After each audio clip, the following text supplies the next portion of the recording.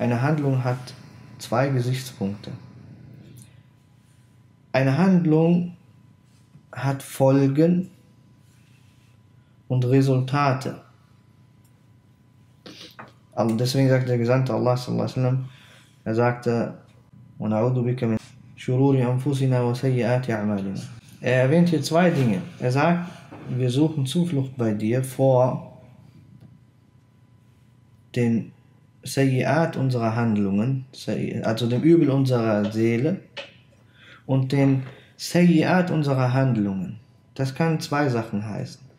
Entweder dem Übel, das aus unseren Handlungen entsteht und hervorgeht, oder unsere schlechte Handlung einfach.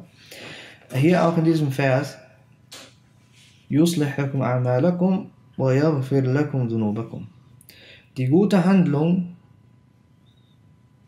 die gute Handlung führt dazu, dass eine weitere gute Handlung entsteht. Es ist wie so eine Kettenreaktion. Tamam?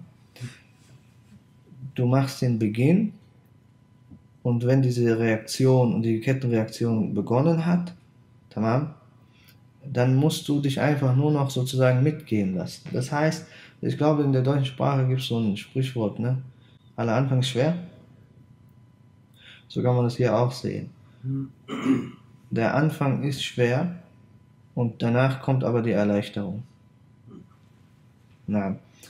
Und die andere Sache, eine Handlung hat auch ein, äh, ja, führt auch zu einem gewissen Ergebnis, ein Resultat und das ist hier die Vergebung.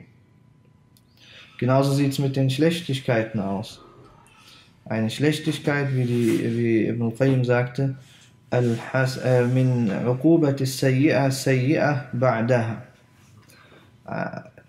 die eine, eine der äh, Bestrafungsformen, eine Strafe der Sayyi'a ist nicht immer gleich, dass ein Erdbeben kommt und dein Haus einstürzt.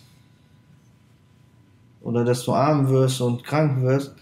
Es gibt viel schlimmere Uqubat. Das sind die, die man nicht bemerkt. Und deswegen sagt Ibn al-Qayyim, sagt, die eine der Strafen der Sayyi'a ist die Sayyi'a danach, die aus ihr ge, ge, yani, durch sie gebärt wird, durch die vorherige.